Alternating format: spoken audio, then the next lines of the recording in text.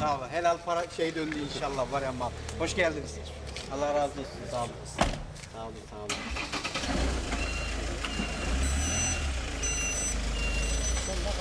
Vallahi billahi.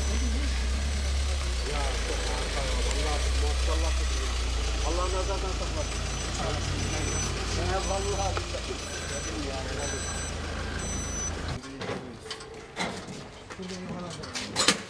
Abi şu üstündekini indirim yani. Ama aşağıda çok çok şey olur ha. Hani biz düşün. Nereye seyahate mi? Yok ben Mücahit'le Mücahit gidiyorum. Ha buraya gidiyorum. Hafta sonu orada gidiyorum. Gezmeler. İyi gezmeler. Yani şimdi buraya adam girdi mi bir deniyor burada ne var ne. Ne var? Hepsine bakıyor. Aynen. O zaman ya şu araya bir demirli bir şey yaptıracağız bu tarafa. Dün çağırdılar bize. Sağ olsun Allah razı olsun. Polis ekipleri, arkadaşlarımız, memur arkadaşlarımız çok çabaladılar. Buldular en sonunda. Ee, gittiğimde o motorumu çalan e, o çocuklar da oradaydı. Yani güler misin, ağlar mısın? Ee, insan üzülüyor tabii ki ister istemez. Ama e, Allah'tan motorum bulundu. Sağ olsunlar. O zaten apayrı bir teşekkür ediyorum herkese.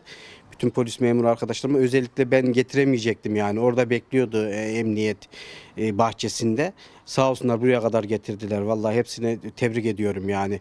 İki gündür benim için uğraştılar. Çok teşekkür ediyorum hepsine. Zaten onlar bizim canımız ciğerimiz yani. Onlar yani ben her zaman e, çalışırken de o polisin bir arkadaşımızı memur arkadaşı gördüm mü hayırlı nöbetler. Allah ayağınıza taş değdirmesin derim her zaman. Çünkü onlar bizim için çok değerli. Ben her zaman çok severim polisimizi, askerimizi. Her zaman çok sevdiğim insanlar. Ya Allah. Bu şeyi